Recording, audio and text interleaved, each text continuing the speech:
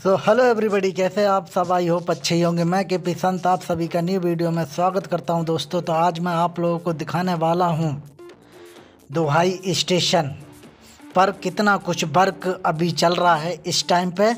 वो सब कुछ आप लोगों को दिखाऊँगा और बताऊँगा। तो बने रहो के पी संत के साथ में। और ऐसे ही वीडियोस देखने के लिए के पी संत को लाइक शेयर कमेंट करें।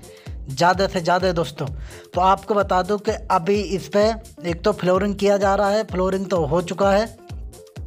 उसके बाद में इलेक्ट्रिकसिटी के खंभे लगाए जाने हैं अभी, और इस पर पहले तो पैरापिट बॉल लगाए जाने, फिर उसके बाद इलेक्ट्रिसिटी के खंभे लगाए जाएँगे। दूसरी बात, इसमें अभी जो टीन सेड है, उसको वो, उसका जाल बिछाया जा रहा है मतलब कि इसके जो लोहे के पिलर हैं, वो अभी स्टैंड किए जा रहे हैं दोनों साइडों में। फिर इसका जाल बनाया जाएगा। जाल बनाए जाने के बाद में फिर इस पर सनरूफ रूफ डाला जाएगा। तो यही वर्क चल रहा है और आपको बता दूँ कि आगे आगे ड्रेनेज सिस्टम बन रहे हैं दोनों साइड में, यानी कि पानी की नालियाँ दोनों साइड में बनाई जा रही हैं। तो आप लोगों को अभी आगे देखने के लिए मिलेगा और इस पर अंदर फिनिशिंग का काम चल रहा है। फ्रीजिंग का काम हो जाने के बाद में फिर इस पर स्क्रीन डोर लगाए जाने, अभी नहीं लगाए गए हैं। तो यही वर्क चल रहा है और ऐसे ही वीडियोस देखने के लिए के पी संत को ज़्यादा से ज़्यादा लाइक करो, ज़्यादा से ज़्यादा शेयर करो वीडियोस को और अभी तक आप लोगों ने चैनल को सब्सक्राइब नहीं किया है तो कर लेना। नीचे है रेड कलर का बटन उसे प्रेस कर देना। तुरंत बेल आइकन बजा देना चैनल सब्सक्राइब हो जाएगा।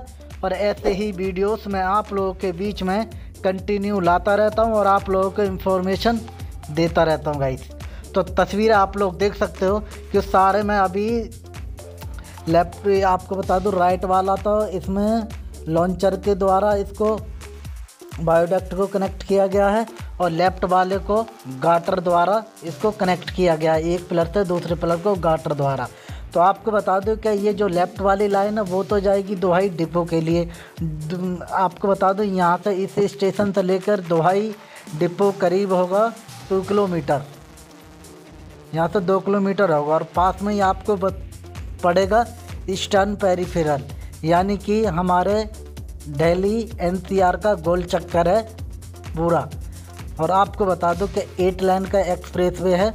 फोर लेन इस साइड में, फोर लेन उस साइड में और मैंने वहाँ के वीडियोस बनाए हैं और आप लोगों ने नहीं देखे तो देख लेना। आई बटन में लिंक दे दूँगा कि किस तरीके से बनाया। जैसे कि के एम पी एक्सप्रेस वे उधर के एम पी है, इधर ईस्टर्न पेरीफेरल है। नाम से जाना जाता है और दोनों साइड में देख सकते हैं, ये मिट्टी की खुदाई की गई है। और मिट्टी की खुदाई कर देने के बाद में देखो, ये मिट्टी पड़ी हुई है और इस पर ड्रेनेज सिस्टम बनाया जा रहा है दोनों साइड में। राइट साइड का तो बना दिया है, लेफ़्ट साइड का बनाया जा रहा है। तस्वीर आप लोग देख सकते हो कि ये ऊँचे ऊँचे ढेर लगे हुए हैं मिट्टी के, क्योंकि ये मिट्टी की खुदाई की गई है ड्रेनेज सिस्टम के लिए तो उसी की ये मिट्टी पड़ी हुई है। तस्वीर आप लोग देख सकते हो दोस्तों। देखो, अभी मतलब कि तेज़ी से वर्क चल रहा है, तेज़ी से वर्क इसलिए चल रहा है कि ये प्रियोरिटी सेक्शन सेक्शन है और ये सत्रह किलोमीटर का पार्ट है और सत्रह किलोमीटर के पार्ट्स पर सन 2023 के मार्च में इस पर रैपिड रेल चलाई जानी है और उसका ट्रायल रन स्टार्ट हो चुका है। और आपको बता दो डोहाई डिपो के अंदर तीसरी रैपिड रेल भी आ चुकी है तो वो भी आप लोगों को अगली वीडियो में देखने के लिए मिलेगा। और ऐसे ही वीडियोस के पी संत के चैनल पर आप लोग देखते रहो, ज़्यादा से ज़्यादा।